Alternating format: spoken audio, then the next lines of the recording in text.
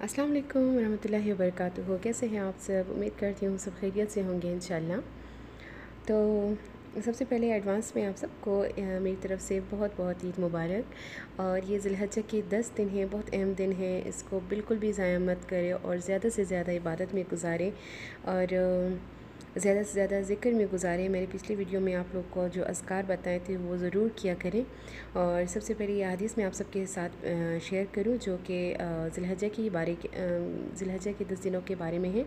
تو سب سے پہلے حدیث، بسم اللہ الرحمن الرحیم، سب سے افضل ایام کون سے ہیں؟ رسول اللہ صلی اللہ علیہ وسلم نے فرمایا کہ ذوالحجہ کے دس دنوں میں کیے جانے والے نیک عمال کی نسبت کسی بھی دن کا نیک عمل اللہ تعالیٰ کو زیادہ محبوب نہیں۔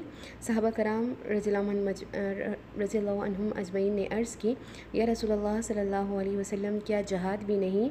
آپ صلی اللہ علیہ وسلم نے فرمایا، جہاد بھی نہیں، سوائے اس شخص کے جو اپنی جان اور مال کے ساتھ نکلے اور کچھ بھی واپس لے کر نہ لوٹیں یہ حدیث ابو داؤد شریف سلی ہوئی ہے۔ اور اللہ پاک اس پر عمل کرنے والا بنائے ہمیں۔ اور دوسری حدیث ہے، بسم اللہ الرحمن الرحیم۔ حضرت عبداللہ بن عمر رضی اللہ عنہ روایت کرتے ہیں کہ رسول اللہ صلی اللہ علیہ وسلم نے فرمایا، جہاد فی سبیل اللہ کرنے جہاد فی سبیل اللہ کرنے وال، کرنے والا اور کرنے والے اور حج اور عمرہ، حج و عمرہ کرنے والے اللہ کے مہمان ہیں۔ اللہ نے انہیں بلایا تو وہ آ گئے۔ اب وہ اللہ سے جو سوال کریں گے، اللہ انہیں عطا فرمائے گا۔ یہ حدیث ابن ماجہ سے لی ہوئی ہے کہ حضرت عبداللہ ابن عمر رضی اللہ عنہ روایت کرتے ہیں کہ رسول اللہ صلی اللہ علیہ وسلم نے فرمایا کہ جہاد فی سبیل اللہ کرنے والے اور حج اور عمرہ کرنے والے جو ہیں اللہ کے مہمان ہیں اللہ نے ان کو بلایا اور وہ آ کے اب وہ اللہ سے جو بھی سوال کریں گے، جو بھی دعا مانگیں گے، اللہ پاک ان کو ضرور عطا فرمائیں گے۔ اللہ پاک ہم سب کی دعا کو قبول مقبول فرمائیں امین سم امین اور یہ تیسری حدیث مسلم شریف سے ہیں کہ نہ ناخن تراشو اور نہ ہی بال منڈاؤ۔ تو یہ حدیث مردوں کے لیے زیادہ وہ ہے جو ان کی جو بھی قربانی کرتے ہیں، ان کے لیے ہیں۔ رسول اللہ صلی اللہ علیہ وسلم نے فرمایا کہ جو شخص قربانی کرنا چاہتا ہوں تو وہ ذلحجہ کا چاند نظر آنے کے بعد نہ بال منڈوائے اور نہ ہی ناخن کاٹے۔ یہ مسلم شریف کی حدیث ہے۔ تو یہ اس میں یہ ہے کہ جو ابھی تو چاند نظر آ گئے ہیں خیر سے ذلحجہ کا تو جو بھی قربانی کرنا چاہتا ہے تو وہ ذلحجہ کا یعنی کہ جو چاند نظر ابھی آ گئے تو ابھی وہ نہ بال منڈوائے اور نہ ہی ناخن کاٹے جب تک کہ ذلحجہ کا مطلب عید نہ گزرے یعنی کہ قربانی نہ کرے جب تک کہ، تب تک۔ اور ابھی اگلا جو یہ آپ لوگ کو ابھی اگلی ویڈیو جو نظر آ رہی ہے اس میں میں نے آپ لوگ کو آپ لوگ کے ساتھ یہ شیئر کیا ہوا ہے۔ مسجد نبی صلی اللہ علیہ وسلم حرم شریف کی ویڈیو ہے۔ اور آپ لوگ بھی درود شریف پڑھیں۔ روزہ مبارک سامنے ہیں بالکل آپ کے۔ اور اللہ پاک آپ سب کو نصیب فرمائیں میرا بہت دل کرتا ہے، میں جب بھی جاتی ہوں، میرا بہت دل کرتا ہے کہ میں آپ سب کے ساتھ ضرور شیئر کروں۔ اور اس سے آگے بہت زیادہ معلوماتی ویڈیو ہے ابھی جو آ رہی ہیں۔ یہ دیکھیں، یہ ساری بورڈ ہے تو اس میں آپ صلی اللہ علیہ وسلم جو اہل بیت ہے اور اصحاب کرام جو تھے وہ آپس میں دوست ہیں۔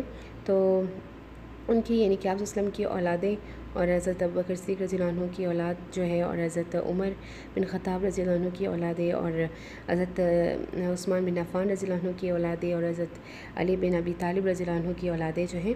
ان سب کے بارے میں جو لکھا ہوا ہے، ان یعنی کہ بورڈز کے اوپر لکھا ہوا ہے، سب کچھ یعنی معلومات لکھا ہوا ہے، لکھے ہوئے ہیں سارے معلومات۔ تو میں سوچ رہی تھی کہ میں آپ سب کے ساتھ شیئر کروں۔ اور تو اس وجہ سے میں نے آپ لوگ کے لیے ویڈیو بنائی ہے۔ آپ لوگ ضرور دیکھیں۔ اور بہت زیادہ معلومات ہے اس میں کہ آپ وسلم کی اولادیں کون کون سی ہیں اور آپ وسلم کی اولادوں میں کون کون سے یعنی کہ نام جو ہے نیچے لکھے ہوئے ہیں۔ کہ آپ وسلم کی کتنی یعنی کہ بیٹیاں اور بیٹے اور سب کچھ یعنی کہ لکھا ہوا ہے یہاں پہ۔ اہل بیت کے بارے میں اصحاب کرام رضی اللہ عنہ مجمعین کے بارے میں لکھا ہوا ہے۔ آپ لوگ ضرور دیکھیے اور معلوماتی ویڈیو ہے اور انشاءاللہ آپ لوگوں کو ضرور پسند آئے گی۔ اور میں نے اس وجہ سے بنائی کہ آپ لوگ دیکھو اور انشاءاللہ آپ لوگ کو سمجھ بھی آ جائے گی، انشاءاللہ کیونکہ میں نے سلو بنائی ہے، لیکن پھر بھی اگر کوئی غلطی ہوئی ہو تو میں معذرت چاہتی ہوں اس کے لیے۔ لیکن میں نے اپنی پوری کوشش کی ہے کہ میں ہر ایک بورڈ کو صاف صاف دکھاؤں۔ تو آپ دیکھ سکتے ہیں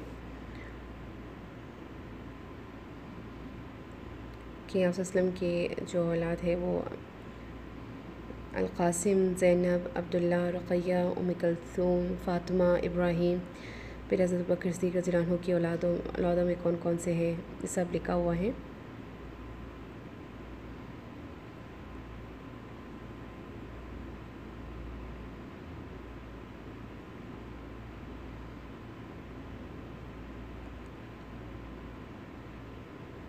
اور یہ حضرت بکر صدیق رضی اللہ رضی اللہ تعالیٰ عنہ کے اولاد میں ام کلثوم اسما عائشہ اور عبد الرحمن یہ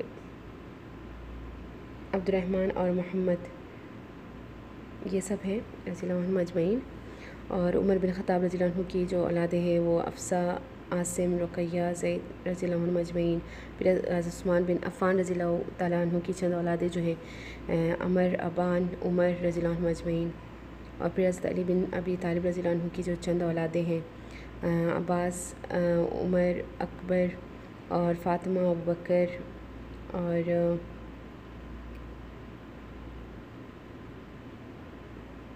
باقی عثمان، رملہ، ام کلثوم، ام حسن، محمد بن یہ بیچ میں جو دو نام میں نے نہیں پڑھے ایک نام میں نہیں پڑھا ایک آخر میں، یہ مجھے صحیح طرح سے نظر نہیں آ رہے ہیں۔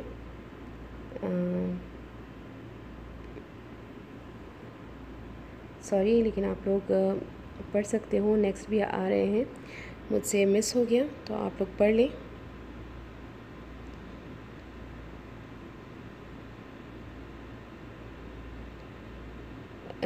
عثمان الاکبر ہیں، رملہ ہیں اور ام کلثوم ہیں، ام الحسن ہیں۔ اور یہ مجھ سے مس ہو رہے ہیں۔ سوری میں معذرت چاہتی ہوں۔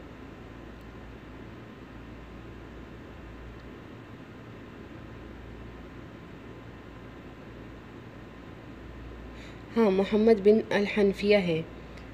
محمد بن الحنفیہ۔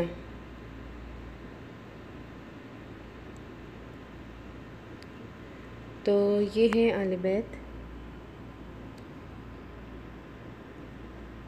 اور اصحاب کرام رضی اللہ عنہ اجمعین، سب آپس میں دوست اور احباب ہیں۔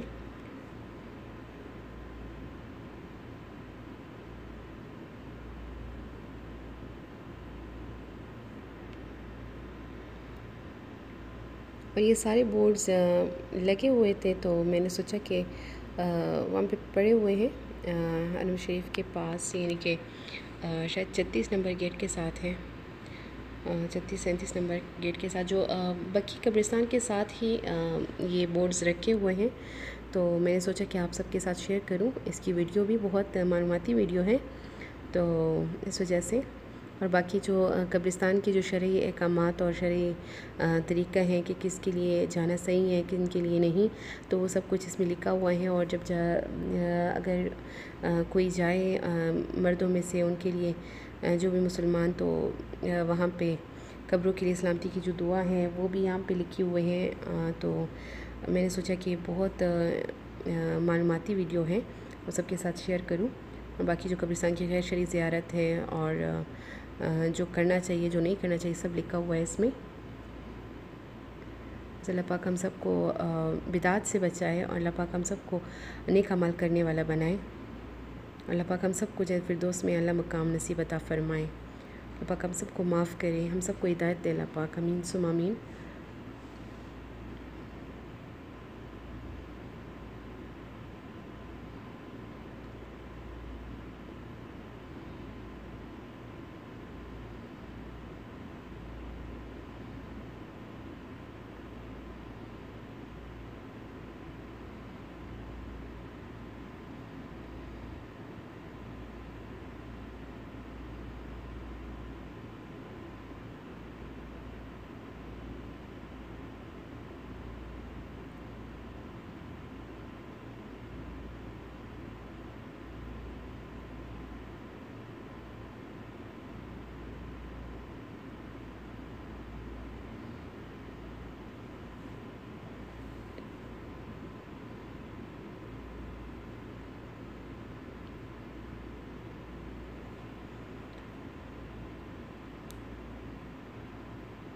تو آپ لوگوں نے دیکھ لیا ہوگا۔ انشاءاللہ آپ لوگ کو معلومات مل گئی ہوگی اور امید کرتی ہوں آپ لوگ کو پسند بھی آئی ہوگی یہ میری معلوماتی ویڈیو۔ اور یہ پھر ہم لوگ یہاں سے چلے گئے تھے۔ ہمیں جانا تھا۔ پہلے ہمیں، تو پھر یہاں سے ہم لوگ چلے گئے۔ یعنی کہ پہلے تو حرم میں ہی تھے اور اس کے بعد پھر ہمیں جانا تھا، گھر بھی جانا تھا۔ تو بچے بھی ضد کر رہے تھے، دیر ہو گئی تھی ہمیں۔ اور میں اکثر شام میں ہی زیادہ جاتی ہوں، کیونکہ گرمی یہاں پہ زیادہ ہے اور بچوں کے لیے بچے بہت زیادہ ضد کرتے ہیں۔ تو اس وجہ سے بالکل بھی مجھ سے نہیں پھر سنبھالے جاتے، بہت زیادہ ضد کرتے ہیں دونوں۔ میری دونوں بیٹیاں بہت عزت کرتی ہیں۔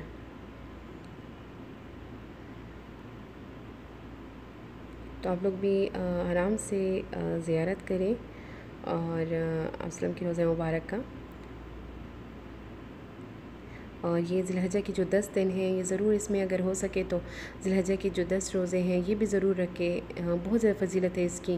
اور جو بھی نفلی عبادات ہے یعنی کہ نفلیں ہیں نفلی بھی پڑھا کرے اور اسکار بھی کرے، جو میں نے اپنی پچھلی ویڈیو میں لاسٹ ویڈیو میں میں نے بتایا ہے، جو اسکار میں نے بتائے ہیں، وہ ضرور کریں۔ اور یہ اسکار ضرور کیا کریں۔ سبحان اللہ الحمد للہ ولا الہ الا اللہ واللہ اکبر۔ یہ بہت زیادہ پڑھا کرے، بہت کثرت سے پڑھا کرے بہت زیادہ فضیلت ہے اس کی۔ اور میرا فرض ہے اور ہر ہر ایک مسلمان کا فرض ہے کہ جو بھی پتہ چلے وہ ہم ایک دوسرے کو بتائیں۔ اور تو اللہ پاک ہم سب کو عمل کرنے والا بنائیں اور اللہ پاک ہم سب کو ان اسکار پر عمل کرنے والا بنائیں اور اللہ پاک ہم سب کو یہ اسکار کرنے کی توفیق نصیب عطا فرمائیں امین سم آمین۔